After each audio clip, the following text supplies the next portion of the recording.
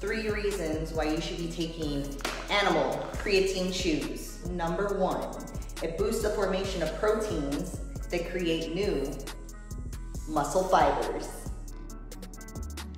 Reason number two, it can reduce symptoms of tiredness and fatigue by providing our brains with additional energy and increasing dopamine levels.